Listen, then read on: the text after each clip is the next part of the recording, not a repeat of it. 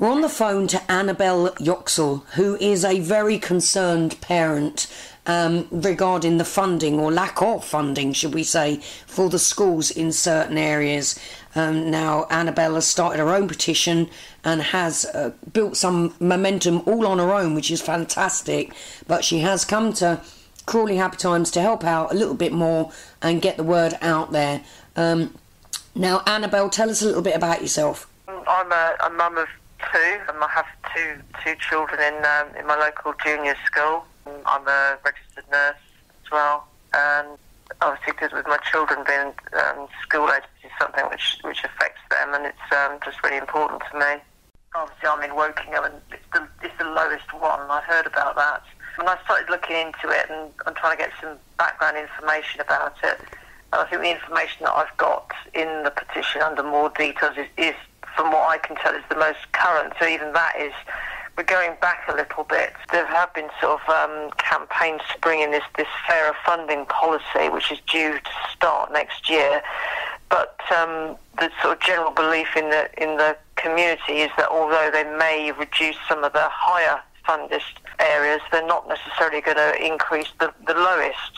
I mean, the, the, gap, if they do bring down the highest ones, obviously the gap between the highest and the lowest won't be as much, so it's going to look better.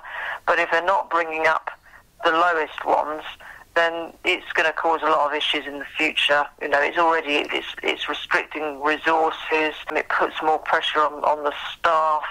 But I, I believe that they, they can't employ as many teachers as they would like in the lower funded areas because they haven't got the, the funds to do that. So obviously that then is going to impact on the children. Mm, it just makes me very cross. So what I've been trying to do is trying to spread the word and get it out amongst the lowest 10 because there's the list with the, the lowest 10 funded areas.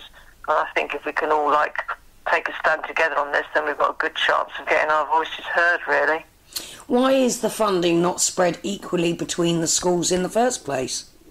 Well, that's a good question. I'd, I'd like to know that really. I mean, the highest ones seem to be in the in the London area, and I suppose you might expect them to have a, a little bit higher, but certainly not sort of like two thousand um, pounds per child each. It's just that's just ridiculous. It should be a fair system. You know, there should there should be equality in this. Give give every child the opportunity to have a a, you know, reasonable education. If they're limiting, if they're limiting the funds that the the lower ones are getting, then we're going to fall behind.